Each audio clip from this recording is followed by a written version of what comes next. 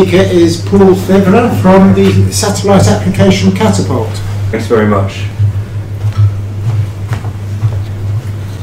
Hello everyone, my name is Paul Febvre, I'm from the Satellite Applications Catapult. My background is in telecommunications, although the Catapult deals with all the different types of services that satellites can deliver um, to try and improve the situation on a global basis and help industry grow. Um, so as I said, my background is in telecommunications. I started my career at British Telecom. And when I was there working at the research labs, one of the first projects I got involved in in the early 80s was a system for Inmarsat called Inmarsat C, which was essentially the first generation of digital communication systems that went over satellite for safety of life, and I'll come back to that in a minute. So we've heard about many of the applications, if you like, uh, of uh, the operations in, in, the, uh, in the maritime environment, um, whether it be vessel efficiency or deep sea mining or, um, uh, or, or, or, aquaculture. All of these uh, messages today have basically said we need to provide better connectivity to make them work. Um, we've also heard about autonomy and taking people out of the, uh, the maritime environment for safety reasons. Um, here's, a, here's an autonomous vessel. It's one that you probably wouldn't want to be sitting on when it's actually in use, because of course it's the the the, uh, the, the, platform on which um, the, the, uh, the, the, the, the SpaceX's thrusters are, returned to. So you definitely wouldn't want to be sitting on that when it comes back in, in, and potentially misses the platform. So I'll come back to that uh, in a minute.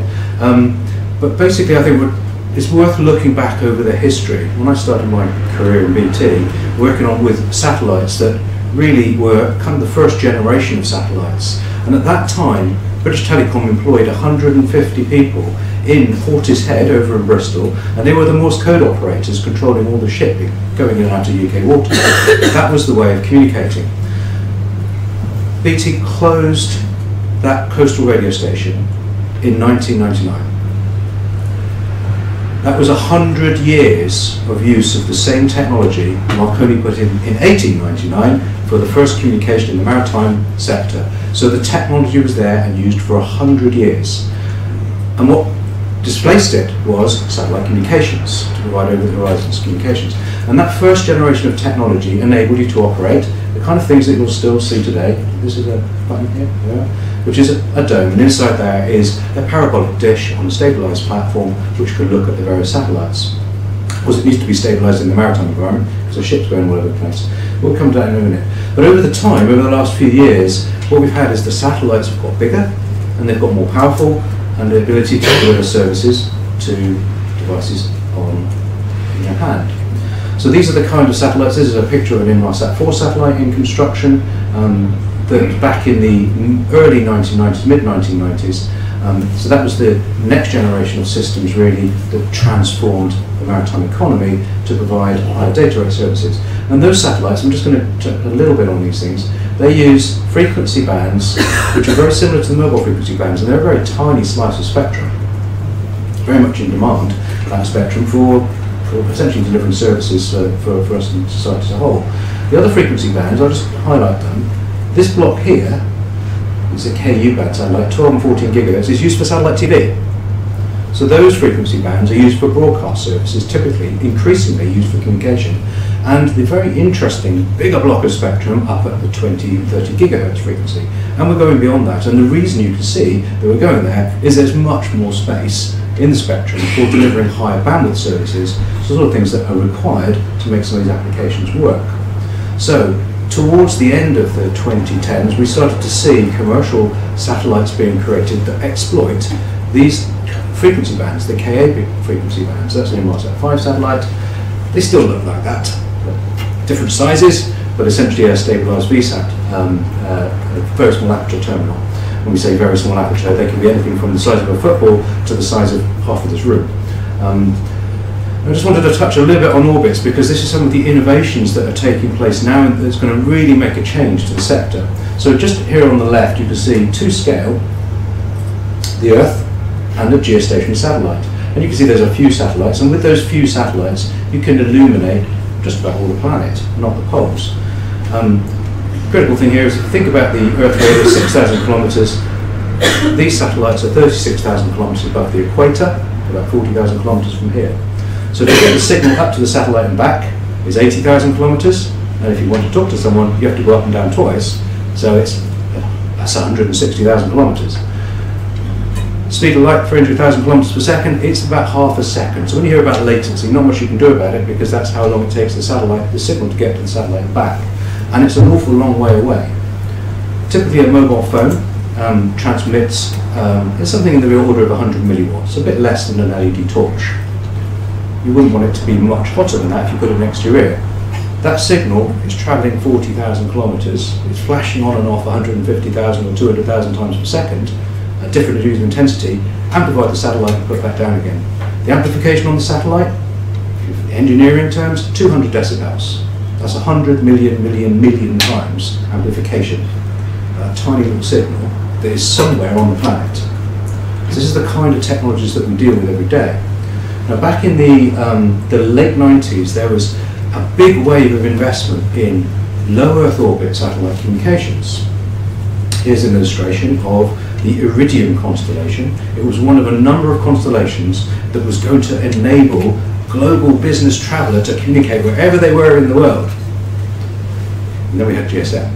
So that kind of made sure that you could connect everywhere. And I wanted, at the time, there, were, there was a wave of investment in the late 90s on providing communications to satellite phones, similar to this. This is an Iridium phone, that's a Globalstar phone, um, and they look very much similar to the to the original mobile phones that were that were shown in these original pictures. Actually, my phone's bigger than your phone, something to be proud of in those days. And we're getting back there right now. Um, so one of the consideration here is, I'm the reason I've shown you those two constellations, on the left is Globalstar and on the right is Iridium. And the bottom left-hand side there is a coverage map for Globalstar, And you can see that it doesn't cover much of the ocean. And the reason it doesn't is you can't put a base station in the middle of the ocean, not very easily. So the services are delivered up to the satellite and back down to the ground to a ground station. So it's not a global service which serves the maritime industry. Iridium, however, uses inter-satellite links. So you go up to the satellite, it hops around the satellite constellation, and then down into a gateway. So it's a global service. So both Iridium and Inmarsat offer safety of life services off their communications platform, and they have saved literally thousands of lives in the last 20 years. So just some context, Inmarsat C I was working on in the late 80s became real about uh, we were doing the testing in, in 89 for the Opera version, so 30 years ago. Still in service today. So and Inmarsat, around 30 years, providing voice and telex. Okay. So in the, the sort of 2000 era to 2010, there was uh, the investment of these new projects to provide um, services, data services, first generation data services, we're now seeing another wave. And the wave of investment in the satellite technology today, I'm going to touch on, spend a little time on this, um, is being driven by the demand for data connectivity. And the data connectivity that's being provided is designed to be provided to services on vehicles or for backhaul of 4G and 5G base stations, where it's very difficult to provide that connectivity through the investment in infrastructure that's required for the terrestrial networks. So wherever you go on the land, you're likely to be going in some of vehicle. So the investment in technology that provides the vehicle as a communications hub is what's driving some of the investment in these new constellations. So you'll see I've highlighted a couple of them here. Uh, so, we've got high throughput satellites, very large satellites that are going to geostationary, and some of the um, interesting, what we call mega constellations. And I'm going to focus on a couple of these. So Telesat, um, you can see the kind of uh, anticipated launch, 2021, um, 117 satellites. The, it's in orbit, one of the test satellites, it was tested by, sorry, um, by uh, the um, 5GIC Centre in Surrey, the latency over this system provide essentially 100 megabits per second plus capability for 5G connectivity, and it was better than 40 milliseconds. So that's giving you the sense of now the latency is a little bit under control. Um, but what's interesting now, we've got a, we've got competition just like we did in the in the 1990s to get to be the first constellation in orbit. of any significant capacity. So we have uh, one in the UK um, that is uh, the OneWeb, and we've also got uh, something we're going to talk a little bit about in, in a moment, SpaceX, and we'll see why um, Starlink I'm going to describe. First of all, Inmarsat is not stopping uh, investing either. So you have a number of these Ka band satellites providing multi-megabits, 100 megabits type capability to vessels. Um, and what's interesting now is you can see this additional constellation. Oops, sorry. I'm using the wrong button. This constellation. This is a highly elliptical orbit. So at the peak of the orbit here, this is actually higher than geostationary, so it's not going to solve the latency issue. But the real reason for developing these technologies, or deploying satellites into these technologies, you can see that they cover the polar regions. so geostationary satellites, the horizon for a geostationary satellite is about 78 degrees north, something like that. Above that, there isn't any coverage, unless you happen to be an aeroplane, you can go a bit further. they don't cover the entire poles. So the investment in this technology is to provide great circle coverage the aviation sector, where there's an uptick in investment and because of the need for connecting passengers, providing safety, but also because the Arctic Circle is opening up from a maritime perspective. And there's a realization that if you say you are a global service provider, you better make sure you cover the whole planet. So the highly elliptical orbit, this is a GX uh, class of satellite, so it's running on the higher frequency bands. It requires at the moment one of these of dishes that's about one meter, 0.7 to one meter uh, aperture terminal. um, but it will provide complete coverage, it doesn't cover the south poles of course, but complete coverage of the planet including the, the north poles.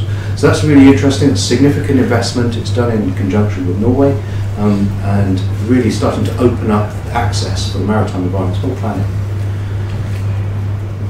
There are some other markets as well. So SES has a MEO constellation, a medium Earth orbit. So this is not very close to the planet, with an 800 kilometre, 1,000 kilometre, but roughly a uh, sort of 8,000 kilometre range. So what you've got here, you can see these satellites, they're in an equatorial orbit. So they go around the equator. And of course, because they're not up at 36,000 kilometres, they process around the planet. They don't take 24 hours to go around the planet, they take some time less, you know, essentially half a day. So you can see the satellites here, they're set up as a, as a lot of dishes. And that means that you can create spot beams that you can link together. So this is really targeted at where there's very hot spots of technology, uh, of connectivity requirement. So it might be an island, it might be an oil uh, operation centre, it might be a mining centre in the middle of the Pacific and connecting it single hop to somewhere quarter of the way around the planet. So this is really interesting for some of those deep ocean type of connectivity platforms because these are very high capacity satellites in terms of the, the links, the data links in that area provides that kind of performance. But of course, it is in the equatorial plane, and because it's lower than geostationary orbit, it actually doesn't even cover quite up to the UK. You just about see it from the UK. So initial um, block of, of, satellites, were, there were eight satellites, there was 16.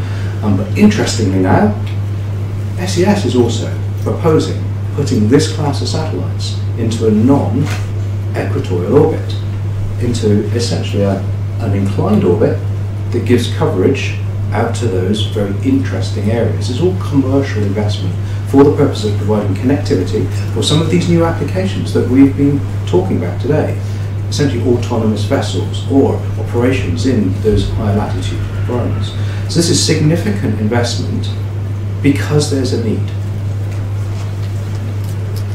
So I'm going to come back to the mega constellations now again. So I mentioned OneWeb, they're just down the road here in, um, in London. Um, significant investment. The number of satellites now is starting to get really interesting.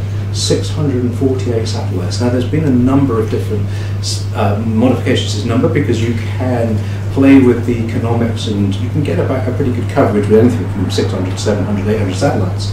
So this is the number of satellites that are being launched. You can see that 145 kilograms. So they're not the 7, 8 ton behemoths that are being put into geostationary orbit. The advantage now is you can put a large number of satellites onto a single launch and launch one plane of your constellation all in one go. So it brings economies of scale.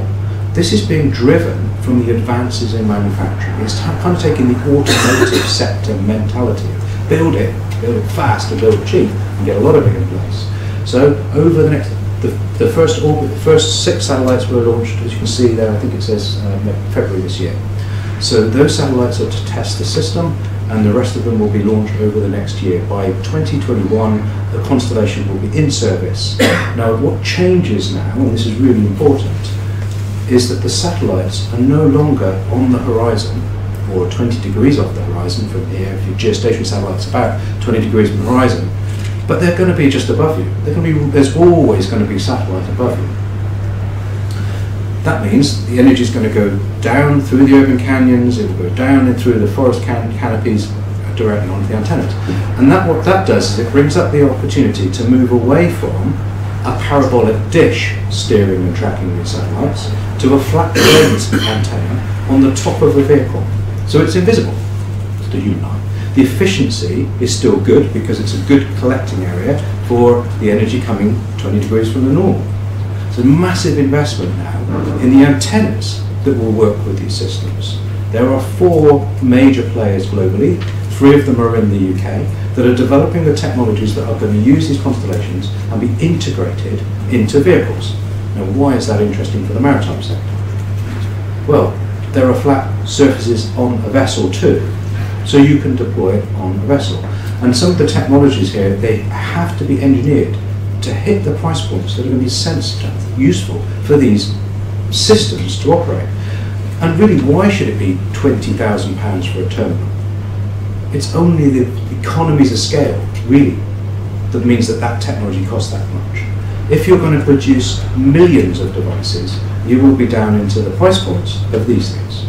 So that's what's driving the change investment. Now we have a slight challenge here, because remember I showed you the Globalstar picture? the OneWeb constellation does not have inter-satellite links, at least the first generation. So from a maritime perspective, useful for coastal areas, it will certainly be suit suitable for, for the littoral zone, because you'll be able to reach the base station, but not for the deep ocean. Starlink, though, is another story. Look at the number of satellites we're talking about now. 1,584 for the first constellation of bigger, slightly bigger satellites. The first ones are 286. There's some, some differences here depending upon whether it's you, you, you include fuel and This is the launch configuration. 60 satellites in one. The first satellite was, were launched in May, and last Monday, I had to wait to update my slides, so I wasn't going to give them the yesterday, because last Monday, last week, the second launch went up. And this is a picture from the launch vehicle. It looks like something out of iRobot. Or Tron. But these satellites will be everywhere. Now they're already raising controversy with regard to astronomical uh, activities because there's a lot of them, or there will be a lot of them, and they will affect observations. Um, however, from the perspective of providing services to this community, I think it brings great opportunities for seeing some of the things that we've we've envisioned today actually come to life. Here's an artistic rendition. You can see every single satellite operator, whenever they do an artistic rendition of the satellites, it never points to where it's supposed to be pointing. Um, it needs to be pointing at the planet, which is what the other ones are doing, um, providing services. Um, even Inmarsat, I'm guilty of that, and was there when I was there. But um, so these are flat plate antennas on the satellite, different frequency bands. These are at Ka frequency bands, so the higher frequency bands, um, but also um, Starlink is looking at SpaceX at higher frequency bands, uh, V band, which is even higher, it's 40 to, to 70 gigahertz, so it'll be somewhere in that territory, um, at very low altitude, below the ISS, 200 kilometer type altitudes. They don't stay in space very long, um, but the idea is you launch them. So the investment in these constellations is significant, but if you put it in the context of the investment in terrestrial connectivity, it's a very small number, even 10 billion. The cost of deploying 5G across the whole of the UK to provide 50 megabits per second everywhere is estimated at somewhere between 60 and 70 billion pounds over the lifetime of the system. It's astonishingly expensive. If you've got a 10 billion pound constellation and you're going to get a certain amount of revenue, you can offset the investment cost for the deployment of a terrestrial network, so it comes down from 70 billion to 20 billion, there's a massive incentive. but it does require the devices to be useful. These are designed to provide services to flat plate antennas, perhaps on the top of a vessel, perhaps on the top of a vehicle, where that becomes your connectivity hub. You connect to the vehicle, the vehicle connects to the satellite, and the satellite connects to the vehicle. So this is the kind of model. So I just want to give you a sense of the things that are happening now. These are going up now. They are going to make a massive difference in terms of enabling some of the things that we've heard about today. Perhaps it will be a reality in very few years to come. Thank you.